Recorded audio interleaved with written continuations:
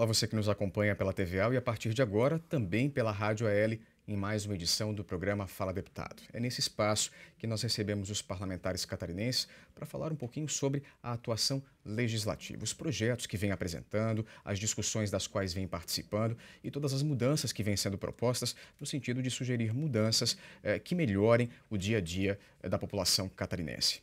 No programa de hoje eu recebo com grande satisfação a visita do deputado Antônio Aguiar, do PMDB, ele que já nesse início de ano legislativo vem desencadeando aí uma série de ações. Tudo bem, deputado? Prazer tê-lo aqui conosco. A nossa saudação à comunidade catarinense. É importante nesse início de ano mostrarmos realmente algumas coisas boas que nós fazemos na Assembleia Legislativa em prol da comunidade. Nós, especialmente aqueles pa pacientes, e já digo, o deficiente, né, nós tivemos um importante projeto para que o deficiente físico tivesse a prioridade na matrícula escolar. E é o momento que nós vivemos essa matrícula. Então, nós é, pedimos aqui especial atenção às escolas para que deem a prioridade ao deficiente físico. Esse foi um projeto de lei apresentado por nós na Assembleia Legislativa, que com certeza vamos ajudar em muito as pessoas com deficiência. É uma discussão que sempre se renova, né, deputado? Aproveitando que o senhor iniciou o nosso bate-papo falando especificamente sobre esse projeto. Todo início de ano letivo é preciso lembrar da seguridade que tem essa lei, da existência dessa lei que garante esse direito aos portadores de deficiência. É, é importante né, que as leis sejam cumpridas. E esse é o momento de a gente lembrar aos profissionais da educação, às escolas, aos diretores, ao secretário da educação também, para que nós tenhamos uma atenção especial para com os deficientes. Essa é uma mensagem importante para esse início de ano, para que possamos ajudar aqueles menos favorecidos pela sorte da vida. Então, ainda aproveitando esse início de ano letivo, pelo qual nós estamos passando agora, um outro projeto de sua autoria foi o que é, cria o Dia Estadual da Família na Escola, uma tentativa de fazer uma aproximação entre essas duas partes que são tão importantes no processo de educação das nossas crianças. É verdade. Olha como é importante a família participar da escola. A escola é um segundo lar do seu filho. Você tem que ter amor pela sua escola. É lá que seu filho está. Em grandes centros, por exemplo, Austrália, há reuniões todo mês. Todas as famílias vão para a escola para ver como é que estão as lâmpadas, como é que estão as fechaduras, como é que está sendo feita a coleta do lixo, como é que está o ambiente que seu filho vive. É importante, pai e mãe, acompanhe o seu filho na escola, compartilhe com os professores, com a direção da escola, os projetos da escola. Faça a sua escola a sua segunda casa. E o seu filho vai estar lá.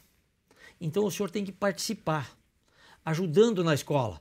E tem troca de lâmpada, e tem uma fechadura estragada, e tem eh, alguma coisa para arrumar, para ajudar. Isso faz com que, além de tornar a, a escola mais confortável, uma escola eh, vista sob seus olhos, o senhor sabe o que está acontecendo na escola indo lá. Então, esse projeto de lei visa exatamente fazer com que a terceira semana do mês de abril, todos os pais tenham a vontade de ir lá na escola. É um projeto de lei que é, faz com que o, a escola seja valorizada. E essa valorização da escola vem também de uma palavra bonita que se chama autoridade. Hoje, o Brasil perdeu a sua autoridade. Você, pai e mãe de família, você tem autoridade sobre seu filho ou não tem mais? Ou nem precisa da autoridade? Não precisa da orientação? Claro que precisa. E não é só na escola, é nas famílias. É, esse déficit de autoridade está no Brasil inteiro.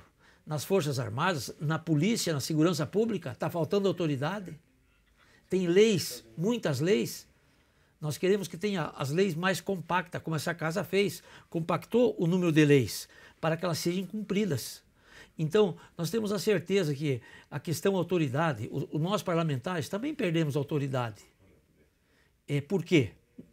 Porque tem parlamentares que é, depõem contra o político. O político hoje é tratado como sem vergonha, corrupto e ladrão, mas nem todos são. Tem gente boa. Então nós temos que valorizar essa gente boa. Então, essa crise institucional que eu chamo de autoridade começa na família, nas escolas. Professora tem autoridade. Temos que dar autoridade à professora para que ela possa executar o seu programa educacional. E aí o pai vai conseguir também fazer um acompanhamento muito mais próximo daquilo que está acontecendo na vida do seu filho, né, deputado? É verdade. Por isso, o dia da escola é importante. Não só no terceiro, a terceira semana de abril, mas todo mês compareça à escola, pai. Siga o que está acontecendo dentro da escola. É importante que a gente se preocupe com a educação. Deputado, essas duas leis, que já são leis estaduais, ambas é, demandam uma série de ações na área da educação. Mas os telespectadores que nos acompanham sabem que o senhor é um grande defensor da área da saúde, até pela sua formação. E uma das primeiras ações que o senhor adotou esse ano foi justamente no sentido de criar um grupo de trabalho que dê atenção especial a uma questão de saúde importantíssima que nós estamos vivendo hoje, não só em Santa Catarina, mas no Brasil, que é o combate ao mosquito Aedes aegypti. Que ação é essa e o que, que ela pretende? É verdade. Vejam que nós vivemos um momento de epidemia. Uma epidemia não somente da dengue. A dengue é o que mais se apresenta. Nós temos o Zika vírus e temos a chikungunya. São dois outros tipos de vírus. Na verdade, é, esse vírus é transmitido pelo mosquito Aedes aegypti. Na história, já diz egípcios esse mosquito é original, originário do Egito. E em 1600, por aí, o nome dele era Culex aegypti. Culex, na língua do Egito, significa mosquito. É mosquito do Egito. E com a nossa exportação através dos escravos, criou-se o, o Aedes aegypti, que é um gênero do Culex aegypti. Esse gênero Aedes aegypti, ele se contaminou no mundo inteiro. Na África, no Brasil, em outros países, Colômbia e enfim, é uma epidemia mundial, mais acentuada no Brasil. E nós parlamentares nós temos que se preocupar com isso. Nós temos que se preocupar com a vida de nosso, de, de, de, dos catarinenses. Por quê? De repente, aí eu não quero mais ter filho. Por quê? Porque pode nascer com microcefalia. Então vai haver uma diminuição da reprodução humana por causa do Zika. E muitas outras implicações. Né? É, hoje, é, essas implicações fazem com que o número alarmante no Nordeste comece a preocupar a Organização Mundial da Saúde. Tanto é que houve uma ação da Organização Mundial da Saúde em prol da dengue, especialmente no, no Brasil e outros países. Mas nós temos que ter a consciência de que nós parlamentares temos que fazer alguma coisa. Então essa frente parlamentar é para nós estarmos atentos ao estado de Santa Catarina principalmente. Atento a quê?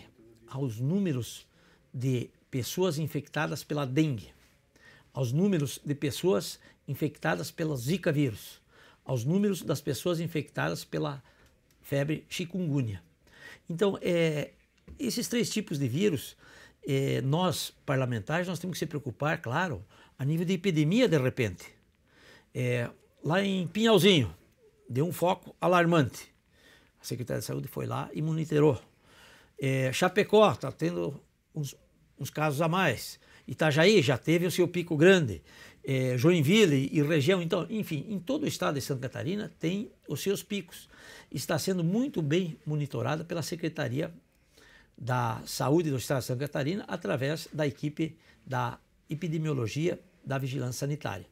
Então, nós parlamentares temos que se preocupar em combater, ajudar a Secretaria da Saúde a, em combater o Aedes aegypti e, acima de tudo, estar atento para é, focos de epidemia que venham crescer no estado de Santa Catarina. E aí não é só a canalização das informações, mas também divulgar essas informações para que elas cheguem à população no momento em que ela deve chegar para evitar a proliferação do mosquito, né, deputado? E é verdade. Todas as ações já programadas e, e ensinadas à população, hoje nós estamos num clima importante para que nós tenhamos o combate efetivo do Aedes aegypti. E eu acho que nós não devemos é, estar muito alerta, principalmente as crianças, usar repelente em criança. O senhor chamou a atenção para a questão dos repelentes recentemente na tribuna do plenário, inclusive. E é verdade, eu quero deixar aqui mais uma vez reforçada essa nossa ideia. Qual o efeito colateral do repelente? Ninguém respondeu para mim isso ainda não. Nós mandamos para Anvisa esse questionamento. Uma consulta formal. Não, foi feita uma moção aprovada pelos deputados para a Anvisa responder. Efeitos colaterais do repelente. Tem que cuidar que só querem vender repelente, não querem nem saber da sua saúde nem do seu filho. Vou repetir. A indústria não quer nem saber da sua saúde nem do seu filho. Ela quer vender. Então temos que cuidar, é, te, temos que ter um pouco mais de, de controle. Tem uns controles bons de fazermos. Quando que o, o mosquito ataca? No amanhecer e no entardecer. São dois momentos que nós devemos cuidar. É não deixar o, o mosquito picar. E é uma informação que nem sempre a pessoa tem conhecimento, né? Não tem. E não custa nada isso. Olha que informação importante. O mosquito, ele, é, em grande, na sua grande maioria, ele vai picar você na parte da manhã e à noite. Ele tem ojeriza ao sol. Então nós temos que cuidar nesses dois momentos. Não custa nada. É, cuidar da parte da vigilância sanitária, sanitária que hoje está na sua casa. É, abra as portas, veja o que está acontecendo, não só na sua casa, do seu vizinho. Né? Cuide do seu vizinho. Você está faz, tá fazendo a sua parte, mas seja um fiscal do seu vizinho. E esse monitoramento tem que ser constante, né? Não é só no dia D, não só no dia de mobilização, tem que ser no dia a dia, né? E é verdade, isso tem que ser uma coisa constante. Por quê? Porque no momento que nós relaxarmos essa vigilância, o mosquito sobe. O que eu quero dizer com isso? Que aparece mais casos de dengue, mais casos de zika e mais casos da febre chikungunya. Deputado, o senhor propôs a criação dessa frente parlamentar eh, em conjunto com outros parlamentares que também são da área médica e pelo regimento interno da Assembleia para a criação de uma frente parlamentar são necessárias pelo menos quatro adesões. O senhor conseguiu muito mais do que isso em pouquíssimo tempo, que os parlamentares estão sensibilizados para a importância de orientar a população. Já foi definido quais vão ser as primeiras ações, além dessa da consulta à Anvisa, no sentido eh, de saber a eficácia dos repelentes, no que diz respeito a frente parlamentar? Na, a frente parlamentar, no primeiro momento, vai fazer uma reunião com a nossa saúde e com os órgãos competentes para nós termos dados, dados concretos. Pelo, pela imprensa, nós temos tido muito, muitos dados, né? mas nós queremos os dados da vigilância sanitária, os dados da Secretaria da Saúde do Estado de Santa Catarina, para que possamos, através desses dados, imprimir ações para ajudar o povo de Santa Catarina, principalmente na contaminação desses três importantes vírus. Deputado, o senhor já vem desencadeando algumas das ações, a criação da frente parlamentar é uma delas. O nosso programa vai se encerrando, mas eu não gostaria de encerrá-lo sem antes abrir espaço para que o senhor dissesse aos seus telespectadores o que eles podem esperar do deputado Antônio Aguiar, além dessa luta contra o Aedes aegypti no ano de 2016. É verdade. Nós somos um deputado que apresentamos muitos projetos de leis a esta casa. Portanto, temos muito trabalho. No meu quinto mandato, é, quero dizer para vocês que a saúde é onde nós focamos a nossa imagem. Por quê? Porque é a nossa profissão, é a minha vida. E a saúde hoje da nossa região, do Planalto Norte, por exemplo, no município de Canoinhas, é uma das mais bem atendidas do Estado. Vai dizer por quê, deputado? Porque nós conseguimos fazer com que nós contratamos um neurocirurgião para a região, que em uma hora, mais ou menos, um traumatismo crânioencefálico é operado no município de Canoinhas, no Hospital Santa Cruz. Por que eu digo isso? Porque lá tem ressonância magnética, tomografia computadorizada, infraestrutura para acontecer isso. E isso tem que ser justo. Foi uma grande obra do nosso governador Raimundo Colombo pedido do deputado Antônio Aguiar. Nós temos o segundo melhor microscópio do Brasil no município de Canoinhas. Então a saúde nossa foi pautada e é pautada por muito trabalho. E nós temos, além da saúde, um projeto importante sobre os ciclismos, o ciclista, proteção ao ciclista. Tantos acidentes causados, tantas mortes. Tivemos vários no último verão, inclusive. Vários no último verão, isso. Então, nós estamos preocupados com isso. Nós temos uma cartela sendo distribuída é, qual é o cuidado que nós temos que fazer? Tem, tem pessoas que acham, não, não, não, não vai valer nada é, nós dizermos para o motorista cuidar do ciclista. Claro que adianta. É nós, os motoristas, que temos que cuidar do ciclista. E está lá a lei de trânsito, você tem que ter um metro e meio o espaço que você tem que deixar para o ciclista, do teu automóvel, do teu carro. Então, quem não conhece, olha só, garanto que você que está me escutando, você não sabia dessa informação. Porque você já fez a tua carteira de motorista faz cinco anos e talvez a informação ainda não, você não, não na prova que você fez lá não, não caiu essa questão. Mas é importante a gente cuidar sim do ciclista. E também como nós temos que respeitar o, o motociclista. São duas é, causas preventivas que nós estamos tratando com muito carinho. Mas o foco principal, ciclista. Então hoje é, a gente se sente feliz em iniciar esse mandato e dizer a vocês que a Assembleia Legislativa inicia o seu trabalho com muita alegria e muita responsabilidade. Nós vamos acompanhar o trabalho de todos os parlamentares, inclusive o seu. Deputado, muito obrigado pela sua presença aqui. Volte mais vezes. Muito obrigado. Agradecemos o espaço concedido a nós. A você de casa, muito obrigado pela companhia. E não esqueça, para rever este e outros programas, basta acessar o site da Assembleia que aparece aí no seu vídeo. Por hoje é só, nós nos vemos numa próxima oportunidade. Até lá.